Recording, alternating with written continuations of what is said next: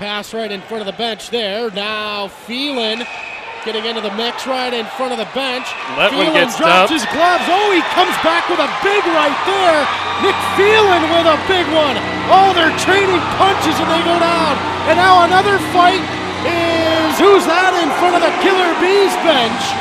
As everyone's locked up now, Letwin tied Here up. we go, right Hutton center ice. drops the gloves as well. Grant Hutton, and now Letwin getting jumped in front of the bench by Bruneteau, and now Sikich has dropped the gloves as well. Ben Myers out of the crease, looking down ice. Now Shelton drops the gloves with Morrison. It's a line brawl here inside the American Bank Center. Shelton and Morrison.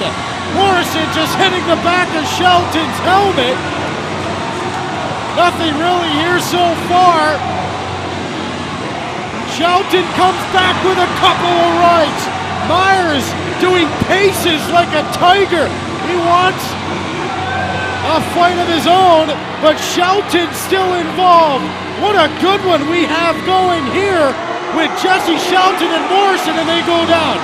Now Morrison taps him, and that's a good move there. Goalies are out to their circles in the neutral zone. Myers getting close to that blue line. They're both talking, Rob. Are they going to go? Let's see Myers and the goaltender Kalkaja talking at center ice.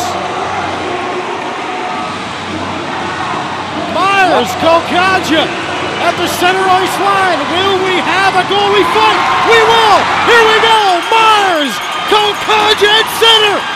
Myers comes back with one. Let one go. Myers has his hand free. A goalie fight here. Myers breaks out. He gets some rights in, and he takes down Kalkaja at center. Wow!